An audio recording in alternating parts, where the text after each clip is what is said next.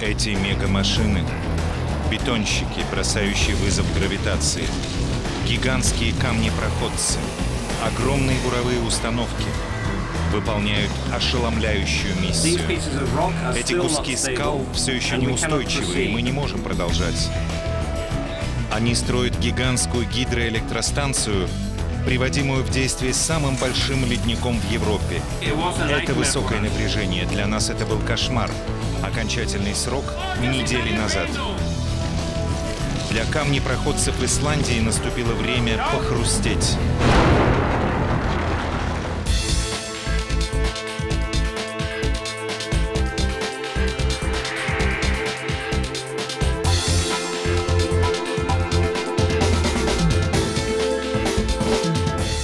Суперсооружение «Камни-проходцы». Добро пожаловать на восточные возвышенности Исландии. В 300 километрах от столицы Рейкьявика и менее чем в 200 километрах от Северного полюса. Это одно из самых отдаленных мест нашей планеты.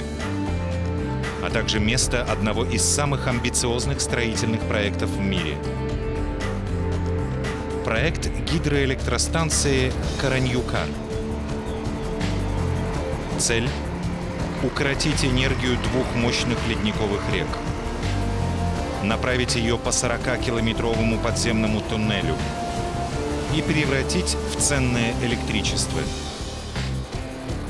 Для осуществления этой огромной задачи требуется не одна, а три мощных структуры. Во-первых, дамба величиной с 20 футбольных полей для укрощения яростных ледниковых рек. Во-вторых, система туннелей, равная по длине английскому каналу, чтобы доставить поток воды к конечной ступени проекта в 40 километрах оттуда.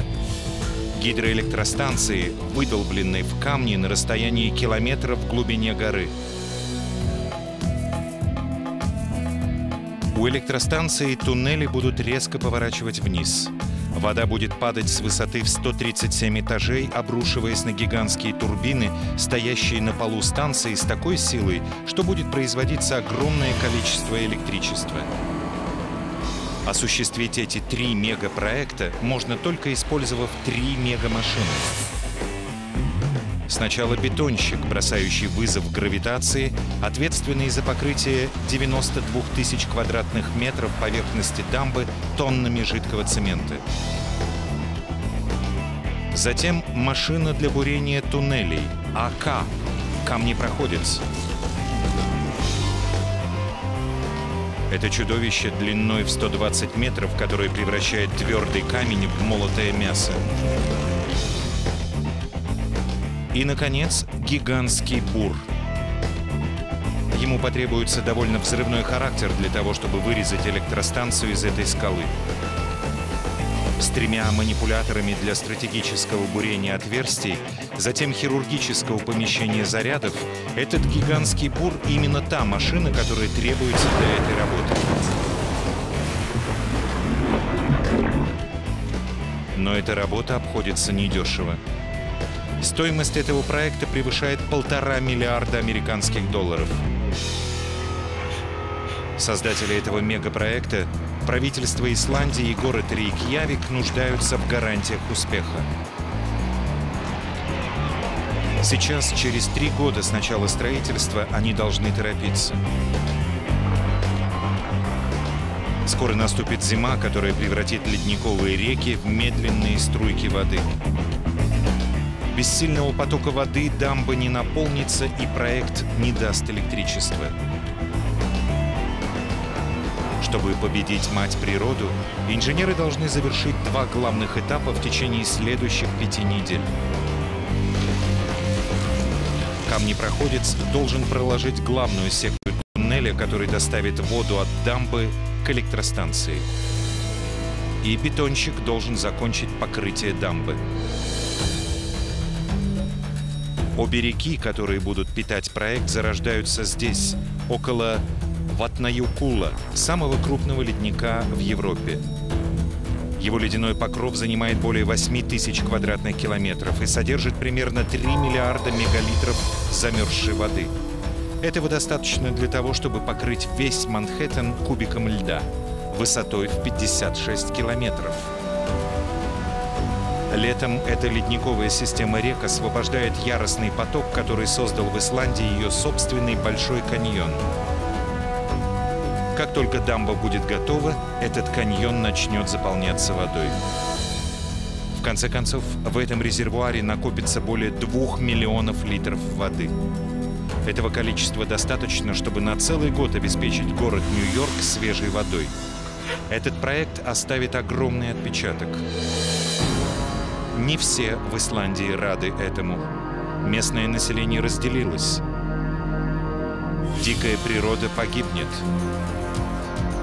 Дамба займет 57 квадратных километров нетронутой гористой местности Исландии.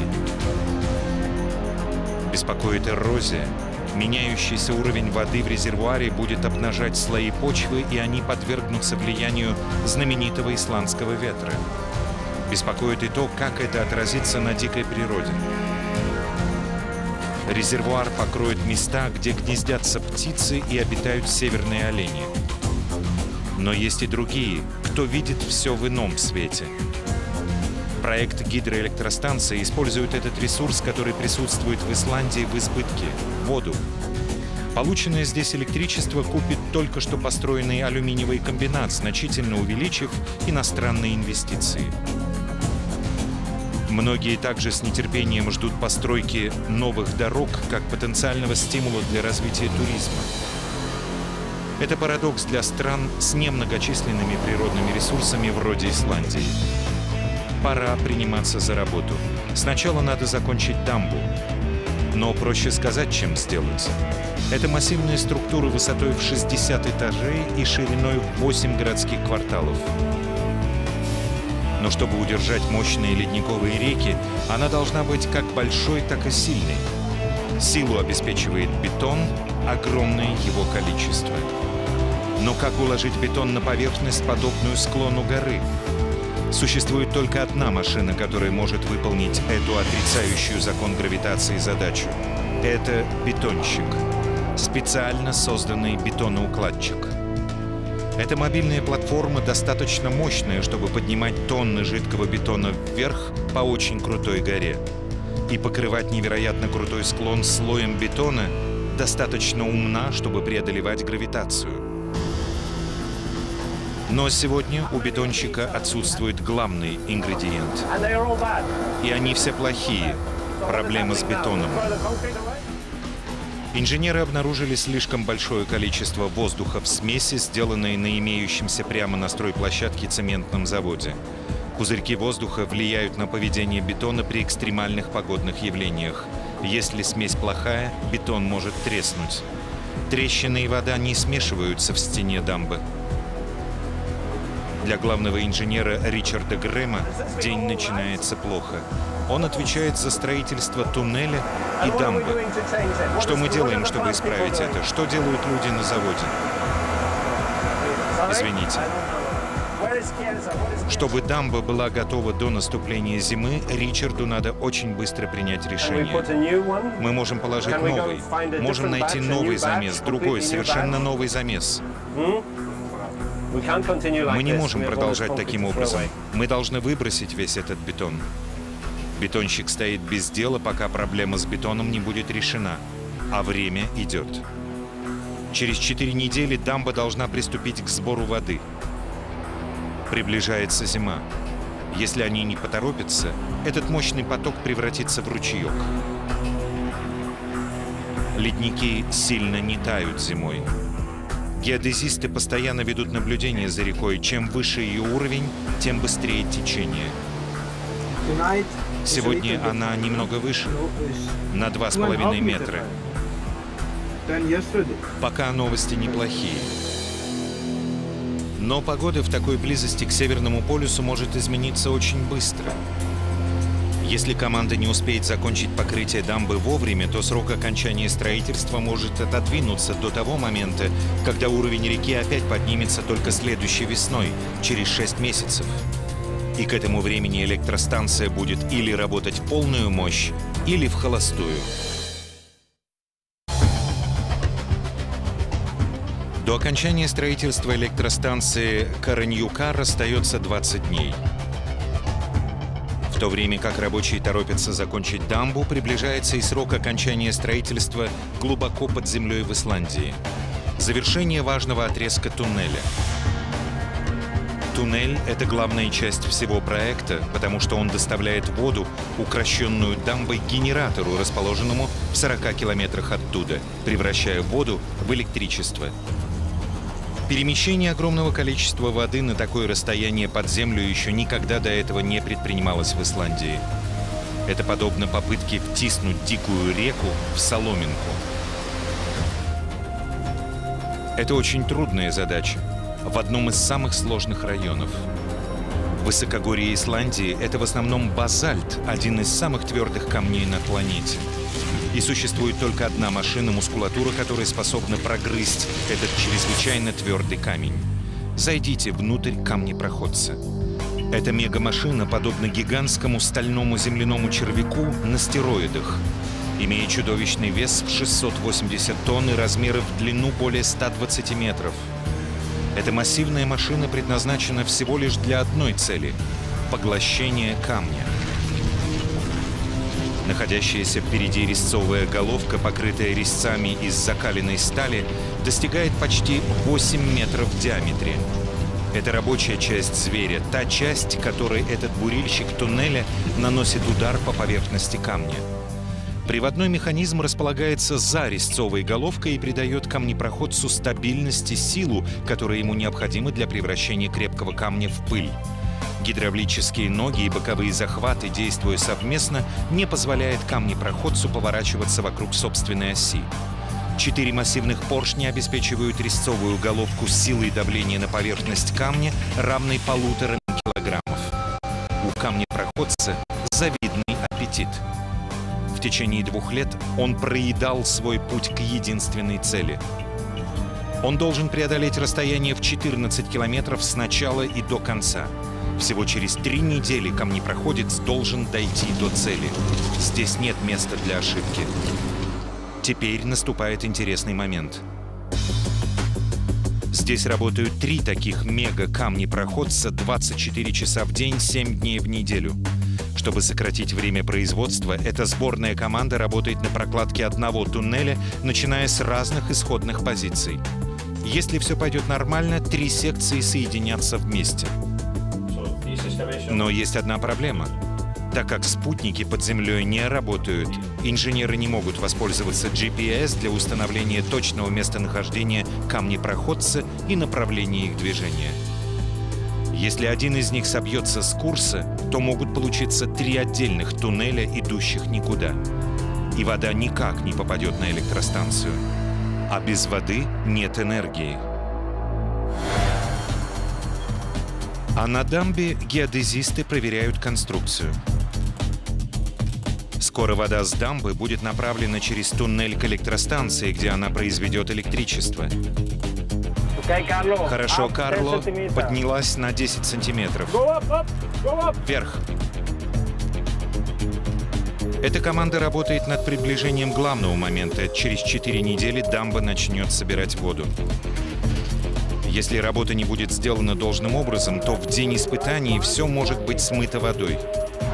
Бесконтрольный поток воды может смыть всю дамбу.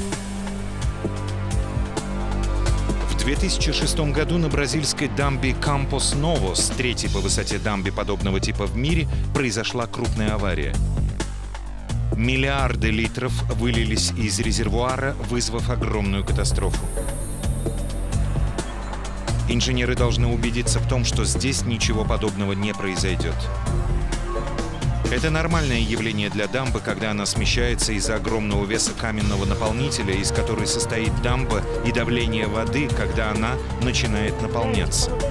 Чтобы убедиться в том, что дамба Караньюкар не смещается слишком сильно, геодезисты отмечают положение параллельно клеважу и затем отмечают их положение относительно фиксированных координат.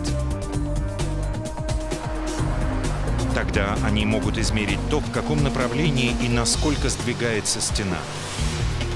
Подобно дырке в плотине, даже маленькая слабая точка может разрушить эту дамбу. А принимая во внимание размеры данного сооружения, это стало бы катастрофой невероятного масштаба. При высоте почти в 200 метров эта дамба будет самой высокой дамбой подобного типа в Европе и одной из крупнейших в мире. Постройка дамбы подобного типа требует перемещения гор, камней и земли. На стройплощадке два главных карьера и примерно 80% материала поступает из этого карьера. И лучшим способом превратить камень в шлам является взрыв. В среднем за день огромные самосвалы высыпают 50 тонн камня из земли каждые две минуты. Камень укладывается слоями от грубого до мелкого для улучшения гидроизоляции. Задача инженера Карла Йенсена является обеспечение гарантии того, строительство идет по плану. Мы уже завершили около 98% и закончим все это через месяц-полтора. Потратив более двух лет и переместив в три раза большее количество камня, чем то, что потребовалось для строительства пирамиды в Гизе, дамба почти готова. А на цементном заводе проблема избыточного воздуха в цементном растворе была улажена как раз вовремя. Для покрытия всей поверхности дамбы требуется полмиллиона тонн цемента. И все должно быть сделано до наступления зимы. Эта работа требует силы и умений. Во-первых, стена дамбы должна укрепляться стальными арматурными стержнями. Эта напорная плита должна быть достаточно прочной, чтобы выдерживать огромное давление из озера. Сталь придает бетону дополнительную прочность. Рабочие измеряют масштаб напорной плиты подобно альпинистам и перерезают арматурные стержни. Отвесная и скользкая стена подвержена сильным ветрам, дующим с ледника. Одно неверное движение может закончиться долгим падением. Далее большой потоп. Это очень важно. Бетон должен быть идеально положен, единым ровным слоем, иначе из-за избытка воды он может потечь и повредить дамбу. Пора приступать к делу бетонщику. Бетонщик — это мобильная платформа, специально приспособленная к тому, чтобы распределять мегатонны бетона по невероятно крутому склону. Его ширина почти 15 метров, и в него загружают целые грузовики жидкого бетона. Огромные лебедки, прикрепленные к вершине дамбы, поднимают бетонщика вверх по стене с постоянной скоростью в 2,5 метра в час. Бетон, вылитый сверху, утрамбовывается по мере прохождения по нему бетонщика, придавая стене идеально ровную поверхность. Рабочие, стоящие на платформе, устраняют любые дефекты в бетоне. Сегодня они покрывают участок, ширина которого 15 метров, а длина 60, одним бесконечным потоком. Как только она приступает к работе, эта отрицающая гравитацию мегамашина не может остановиться. Если она остановится, плита не будет безупречной и возникнет опасность появления трещины. При такой скорости работы дамба будет готова к началу сбора воды через 4 недели. И это не единственный срок окончания работы, который приближается. В 40 километрах к северо-востоку от дамбы еще одна команда мегамашин занята работой, чтобы закончить строительство электростанции. Так же, как дамба и туннель, электростанция основана на смелом плане. Она использует природу для создания энергии. А вот как она работает. Электростанция строится внутри небольшой горы, расположенной ниже дамбы. По туннелям вода доставляется к вершине горы, затем устройство электростанции заставляет эту воду падать вниз по шахте, которая называется напорным туннелем. Представьте огромную реку, внезапно падающую с высоты Empire State Building. При падении воды гравитация создает силу, ту силу, которую инженеры превратят в электричество. Как и вся вода в данном проекте, эта сила должна тщательно контролироваться. И прямо сейчас рабочие должны построить напорный трубопровод и убедиться в том, что он действует. Гигантский кран опускает стальные секции трубопровода вглубь горы. Каждая часть трубы составляет 3 метра в диаметре и весит 45 тонн. Требуется удивительная маневренность, чтобы установить трубу такой величины на место. Теперь остается только развернуть ее и установить вертикальное положение. И опустить в пустоту. Осторожно. Затем рабочие должны сварить секции вместе. Единственный подход к трубопроводу от подножия горы и у лифта есть только одна остановка на 137 этаже.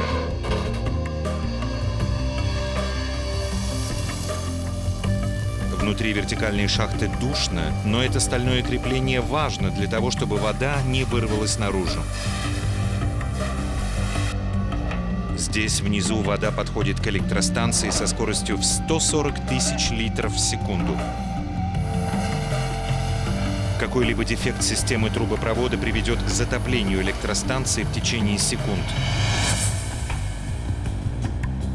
Менее чем три года назад на месте этой полости была монолитная скала. Теперь более 300 тысяч кубических метров были удалены из горы. Надо было удалить весь этот камень, то есть взорвать его.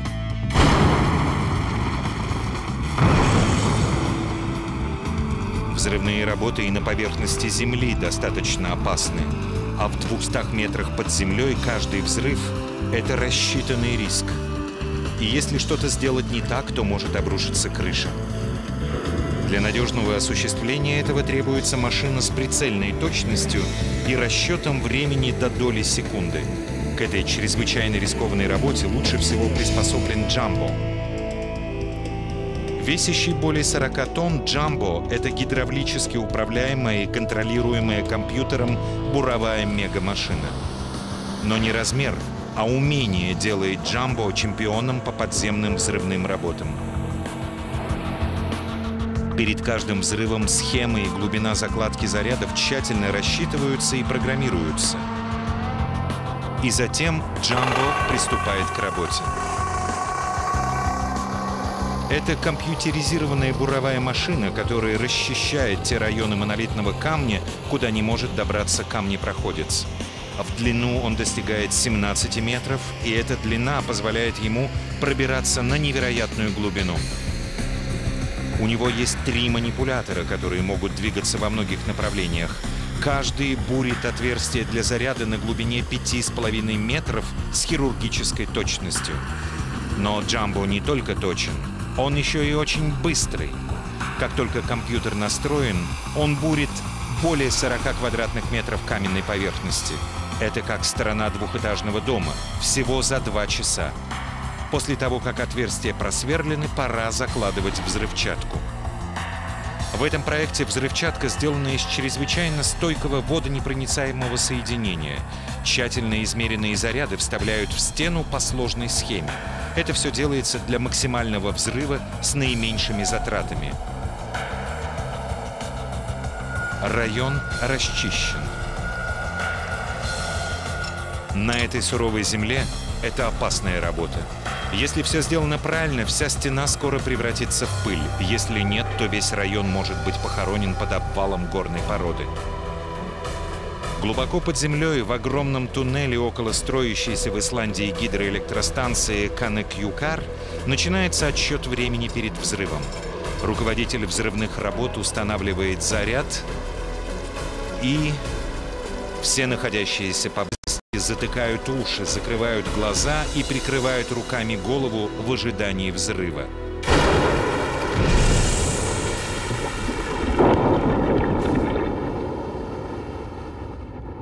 Рабочие ушли. Взрывная волна двигается вверх и вниз в замкнутом пространстве. Дым рассеивается и удача.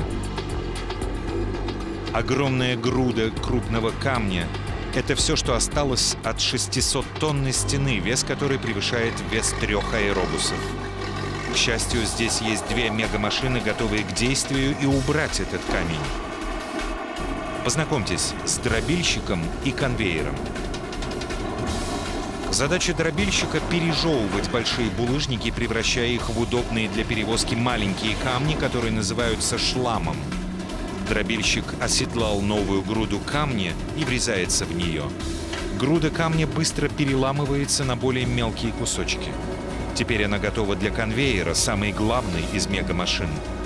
Эта потрясающая машина вывозит шлам из туннеля. Без нее бы туннель быстро засорился.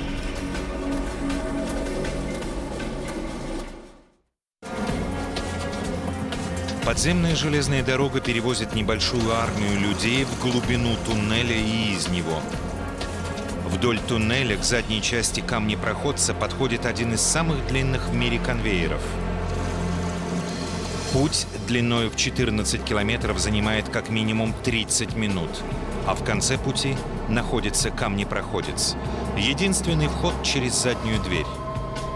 Внутри камнепроходца тесно – Здесь находятся мастерские, складские помещения, блок электропитания и водоснабжения.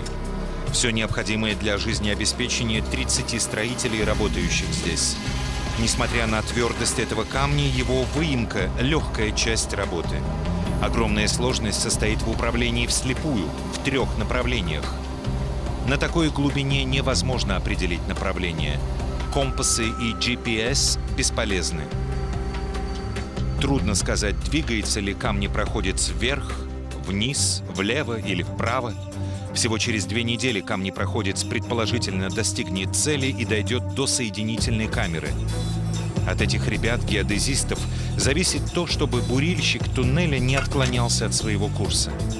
Для этого требуется сложная математика, высокотехнологичное оборудование и внимание к каждой детали. Главная сложность в определении точного расположения, по крайней мере, одной точки. Затем, используя лазер для определения угла и расстояния, они могут отметить точное расположение любой новой точки, сохраняя движение камнепроходца в нужном направлении как горизонтально, так и вертикально. Уже более двух лет ежедневно, два раза в день геодезисты следят за продвижением камнепроходца. Данные анализируются в главном лагере для проверки правильного движения камнепроходца. У водителей имеется полный набор компьютеров и телевизионных мониторов, помогающих им управлять машиной. Это как огромная видеоигра, но это серьезная игра. Опасность в том, что существует степень ошибки при каждом отсчете. Если машина отклонится от курса на дюйм в первый день, то отойдет от цели почти на 18 метров. Этот туннель очень длинный, более 14 километров. Что беспокоит еще больше, допустимый предел ошибки умножается на 3. Потому что три бурильщика туннеля работают вместе для создания этого мегатуннеля – Первый камнепроходец двигается на юг, вторая и третья машины идут на восток и запад. Если они соединятся, туннель протянется на 40 километров от дамбы до электростанции. До сегодняшнего времени не существовало надежного способа определить, насколько близко эти машины находятся от цели. Но если первый бурильщик туннеля достигнет цели согласно плану, то инженеры узнают, сработает ли их план соединения туннелей. От этого зависит судьба всего проекта. Чтобы прорваться сквозь стену туннеля за две недели, команда должна убедиться в том, что ничто не затрудняет движение камнепроходца вниз. В другом конце туннеля рабочие достигли критического момента в конструкции гидроэлектростанции. Сегодня они опускают огромную часть генератора, которая называется «статор», устанавливая его на место. Это огромное стальное кольцо диаметром в 6 метров, наполненное плотно скрученным проводом, весит 140 тонн. С ним надо обращаться осторожно. Можно легко повредить деликатную проводку или, что еще хуже, техников, работающих под ним. Здесь есть 2 сантиметра в запасе. Очень плотная подгонка. Если мы сможем медленно опустить его, то все будет в порядке. Этот генератор представляет собой множество электропроводов и вращающихся деталей. Они должны точно соединиться для максимальной эффективности. А вот как это работает. Вода течет от дамбы в туннель и обрушивается вниз по вертикальному трубопроводу. Она поступает наверх генератора с разрушительной силой. Когда вода обрушивается на турбину, которая расположена в основании генератора, она заставляет его вращаться. Это, в свою очередь, приводит к вращению электромагнитный стержень, который называется ротором и находится на вершине турбины. Когда магнитное поле ротора проходит по электропроводке к статору, возникает электричество. В этом случае это мегапоток. Okay, Все остановить.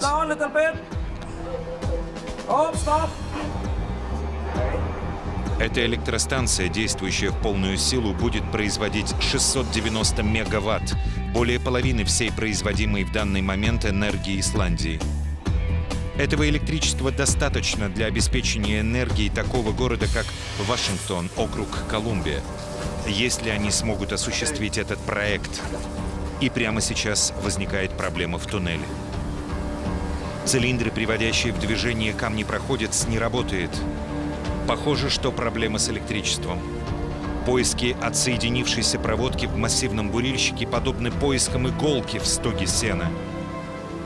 И это опасно.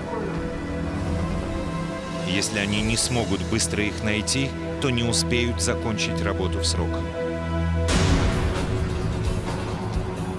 На месте строительства гидроэлектростанции Караньюкар работа идет с ужасной скоростью. Чтобы пробиться сквозь камень в Исландии требуется огромная мощность, и каждому из этих камнепроходцев необходимы 3 мегаватта для работы. Электрики, стоя в воде глубоко под землей, отчаянно ищут провод, вызвавший замыкание в машине. Наконец, они обнаруживают, в чем проблема. После срочного ремонта строительства тоннеля, соединяющего дамбу с электростанцией, возобновляется с новой силой. Остается всего неделя до того дня, когда камнепроходец должен закончить первую часть туннеля. Команды на дамбе и на электростанции спешат закончить работу в срок до наступления зимних холодов. На электростанцию прибывает новый волнующий прибор. Несмотря на то, что он похож на обычный желтый ящик, это очень важная вещь для того, чтобы данный проект был выгодным. Это трансформатор. Он забирает электричество, поступающее из генератора, и повышает его напряжение, прежде чем направить его в электрическую сеть. Электричество высокого напряжения легче передать на большие расстояния, чем электричество низкого напряжения. Гидроэлектростанция предназначена для максимального производства энергии. Но сначала этот трансформатор, как и пять других, необходимо установить. Для этого их надо доставить на полтора километра вниз, внутрь горы. При весе в 120 тонн это непростая задача. В высоту он почти 5 метров. Если его слишком наклонить, то он может обрушиться. Команда двигает его очень осторожно, но когда они оказываются внутри электростанции, у них возникает еще одна большая проблема –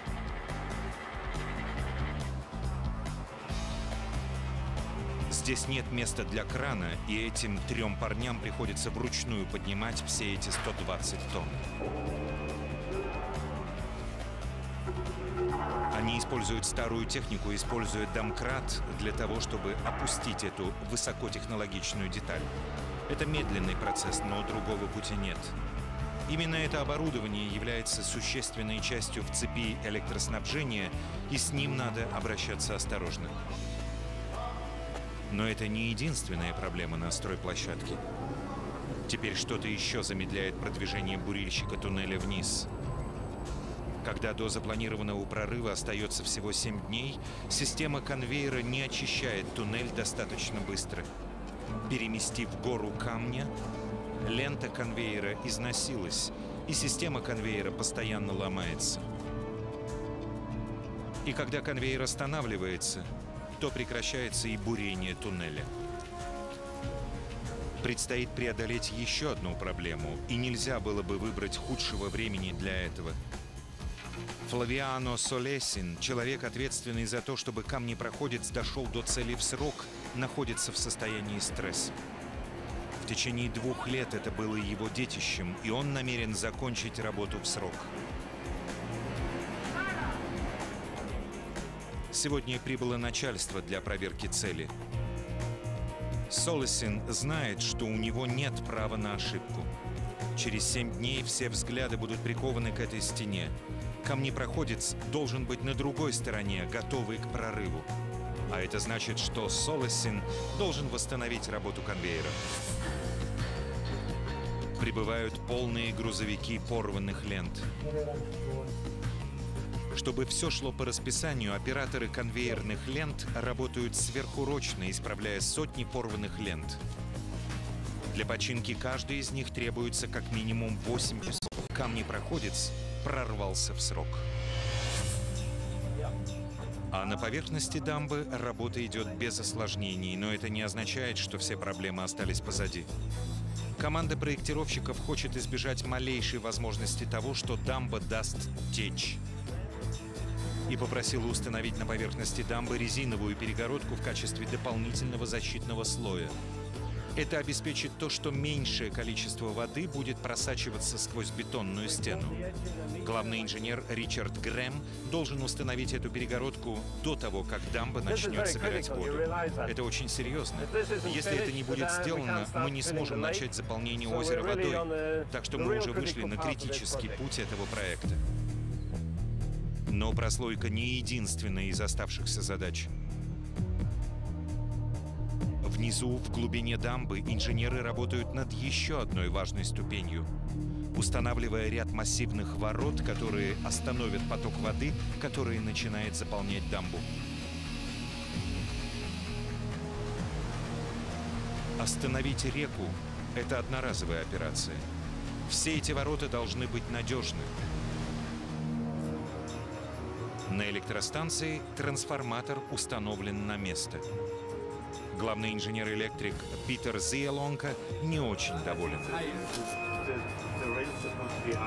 Поручень должен быть выше. Он выступает на несколько сантиметров. Хотя это и мегапроект, но допуски здесь крошечные. Этот трансформатор должен входить как перчатка. В противном случае электричество может раствориться в воздухе. И предстоит установить еще пять трансформеров – то, что мы должны сделать, это содержать... Но все старания будут напрасны, если камни-проходцы не успеют закончить строительство туннеля. После устранения повреждений электричества и изношенных конвейеров камнепроходцу, возможно, предстоит самая большая задержка в работе. Вчера вечером, когда мы медленно бурили, упал этот камень. Это большая неприятность. Иногда бурильщик туннеля наталкивается на трещины в породе. Вместо того, чтобы превратиться в пыль, огромные камни обрушиваются вниз, подвергая опасности людей, работающих внизу. Мы должны обезопасить это. Эти куски камня ненадежны. Мы не можем продолжать. При возникшей проблеме и огромном снижении скорости продвижения этот тоннель становится главной проблемой данного проекта. Бурильщик туннеля не может продолжать работу. Команда должна устранить проблему. Это медленная и трудоемкая работа. Каждый камень нужно вручную вынуть и уложить на пол, а затем вывести на поверхность. Немного иронично то, что эту машину, которая стоит миллионы долларов, высокотехнологичную сложную машину заменили люди, вручную удаляющие камни по одному. Это серьезная задержка в работе, которая в этой части тоннеля полностью остановилась. Последний раз, когда это случилось, задержка в работе составила 6 месяцев. Это недопустимая задержка в такое важное время. На стене дамбы гидроэлектростанции Караньюкар в Исландии мобильная платформа по укладке бетона близка к победе. Бетонщик почти закончил дамбу, успев к началу заполнения резервуара до наступления зимы. Бетонщик удерживает цемент на последнем участке огромной стены дамбы. Этот поток начался почти 24 часа назад. Теперь, спустя месяцы изнурительной работы, покрыв более 90 тысяч квадратных метров, этой мегамашине остается всего несколько часов до окончания этого последнего участка. Сделав эту гигантскую стену как можно более водоупорной и крепкой, чтобы удержать здесь озеро. Она осуществила работу, на которую способны очень немногие машины в мире – Глубоко под землей команды сейчас узнают, справились ли остальные мегамашины успешно со своей работой. Наступает день начала операции. Камнепроходец должен сегодня совершить прорыв. В комнате чувствуется напряжение. Если камнепроходец не отклонился от своего курса, он должен пробиться сквозь камень. Если же он свернул с курса, этот день станет катастрофой. В туннеле рабочие потратили день на то, чтобы вынуть камень из трещины и дать возможность мегамашине продолжать свою работу.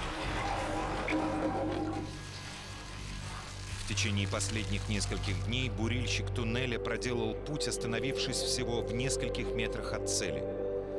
Если все пойдет так, как надо, то в течение следующих двух часов произойдет прорыв. Спустя 718 дней с начала этого мегапроекта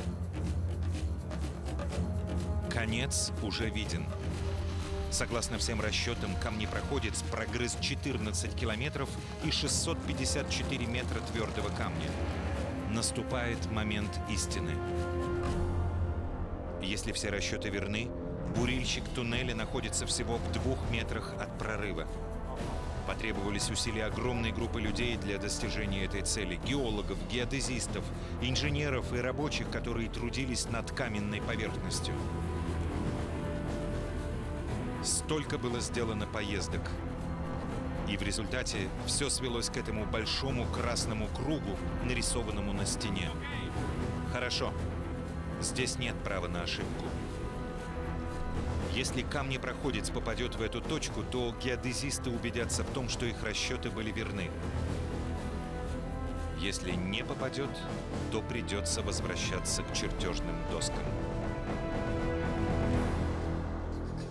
И это стало бы катастрофой для остальных бурильщиков туннелей, которые должны присоединиться к нему всего через несколько недель. Но прямо сейчас возникает еще одна проблема. По какой-то причине камнепроходец остановился. Опять. И никто по эту сторону стены не знает почему. Главный инженер ждет ответа. В кабине бурильщика туннеля Флавиано Солисин, ответственный за безупречное осуществление этой операции, чувствует напряжение. Вперед, вперед! Слышен шквал телефонных звонков. Заводи мотор. Компьютер в кабине запрограммирован так, чтобы предупредить его о приближении к цели. Согласно компьютеру, камнепроходец уже должен совершить прорыв. Главный инженер Солосин отдает приказ водителю пробиваться сквозь стену. Наконец, огромная машина опять оживает. На другой стороне стены все отодвигаются от места приложения силы. Теперь ясно, что бурильщик туннеля рядом. Пол и стены пещеры дрожат. Но как близко ко мне проходец подойдет к красному пятну. Наконец появляются трещины.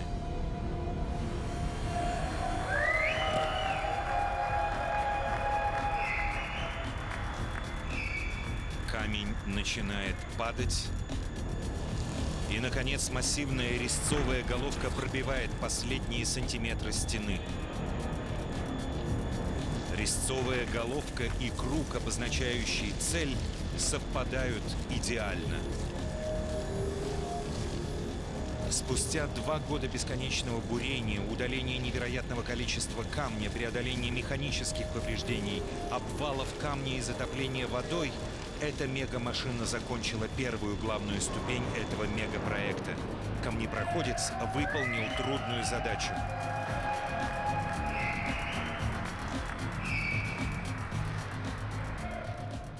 Солосин и вся команда собираются за резцовой головкой. Единственный путь внутрь камеры лежит через резцовую головку. Команда трудится над тем, чтобы снять один из резцов. Затем они появляются на другой стороне под громкие приветствия толпы. Это тот день, которого все так ждали. Он отмечает важный этап работы. У геодезистов и команды есть причины для празднования. Они провели камнепроходец через 14 километров почти по прямой линии и попали в цель. Отлично. Отличное начало, отличное окончание. Это невероятное путешествие выдержки и силы. Камнепроходец раздробил и съел более двух миллионов тонн камня, а конвейер перевез эквивалент 10 тысяч аэробусов на поверхность. Техника была отличная, команда отличная. Все это было полным кошмаром для нас, для меня, но мы здесь.